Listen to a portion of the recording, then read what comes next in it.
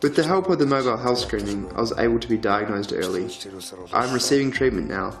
I have my family to take care of. I realized the healthy diet is important and that I should take care of my health. I got retested and just got my results back this morning. I'm healthy and I've recovered. I'm very grateful to my doctors.